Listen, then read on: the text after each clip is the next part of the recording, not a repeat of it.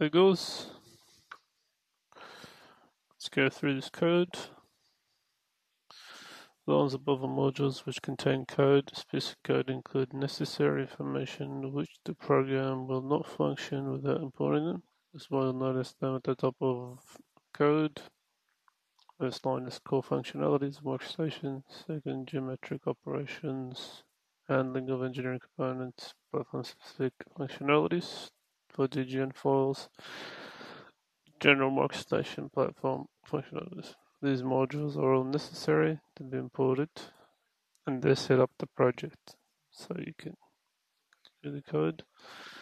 Then you have two variables which need to be set and generally set to the origin point, which is 0, comma 0, comma 0. And there, this the start point variable is used as starting point for geometric functions. Point variable is a temporary variable, and it's used to store coordinates to calculations or transformations. This line here is necessary to be placed before the desired keying to allow for you to send the command to MicroStation. Second part place line is basically telling MicroStation to use line tool. Same thing here, insert this line.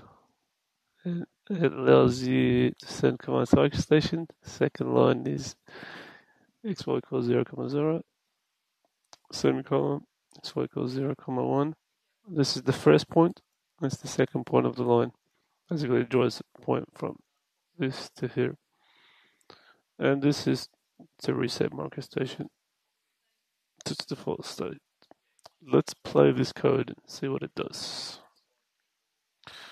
I'll press play.